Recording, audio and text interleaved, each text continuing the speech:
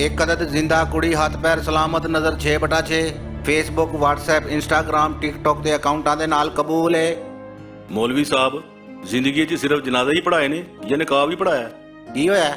ਮੈਨੂੰ ਜ਼ਰਾ ਸੋਚਣ ਦਿਓ। ਹੁਣ ਸੋਚ ਕੇ ਮੇਰੇ ਕੋਲੋਂ ਸੋਚਾਂ ਪਵਾਉਣੀਆਂ ਨੇ। ਨਹੀਂ। ਫਿਰ ਬ੍ਰੇਕ ਕਿਉਂ ਲਵਾਈ ਐ?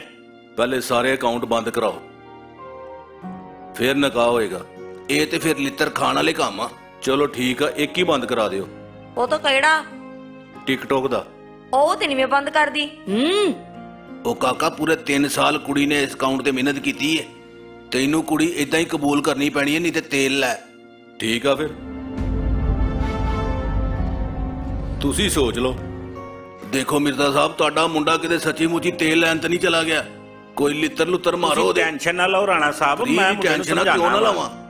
ਕੋਈ ਨਹੀਂ ਮੈਂ ਉਹਦਾ ਚੋਰ ਸੁੱਚ ਦਬਾਨਾ ਵਾਂ। ਤੁਸੀਂ ਪੈਰਾਂ ਦੀ ਮਿੱਟੀ ਨਹੀਂ ਛੱਡਣੀ। ਭਾਈਜਾਨ ਮਾਫੀ ਚਾਹਨਾ ਬੇਟੀ ਦਾ ਟਿਕਟੋਕ ਅਕਾਊਂਟ ਕਿਹੜੇ ਨਾਮ ਦਾ ਵਾ? ਆ ਦੱਸ ਓਏ ਕੀ ਤਕਲੀਫ ਹੈ ਤੈਨੂੰ? ਇਹ ਵੀ ਕੋਈ ਗੱਲ ਹੈ ਟਿਕਟੌਕ ਪਿੱਛੇ ਮੇਰੀ ਟਕ ਟਕ ਦੀ ਕਰਾ ਦਿੱਤੀ ਹੈ ਵੈਸੇ ਤੈਨੂੰ ਅਸਲ ਬਿਮਾਰੀ ਕੀ ਹੈ ਦੱਸ? 1 ਮਿਲੀਅਨ ਫਾਲੋਅਰ ਨੇ ਉਹਦੇ ਤੇ ਮੇਰੇ ਮਾਰ ਕੇ ਹਲੇ 100 ਨਹੀਂ ਹੋਏ। ਉਹਦੀ ਲੱਤ ਉੱਤੇ ਰਹਿਣੀ ਹੈ ਮਾਂ ਜੀ ਤੁਸੀਂ ਕੀ ਕਹਿੰਦੇ ਹੋ? ਪੁੱਤਰ ਦਫਾ ਕਰਾਓ। ਮੈਨੂੰ ਪਤਾ ਇੰਨੇ ਫਾਲੋਅਰ ਤੇ ਹਰੀਮ ਸ਼ਾਹ ਦੇ ਨਹੀਂ ਹੈਗੇ ਪਰ ਉਹਨਾਂ ਦਾ ਹੁਣ ਕੁੜੀ ਨੇ ਅਚਾਰ ਪਾਉਣਾ।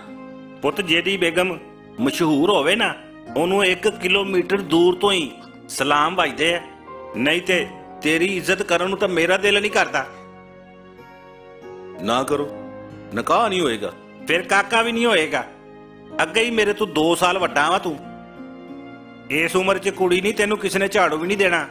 ਅੱਬਾ। ਮਰ ਗਿਆ ਅੱਬਾ।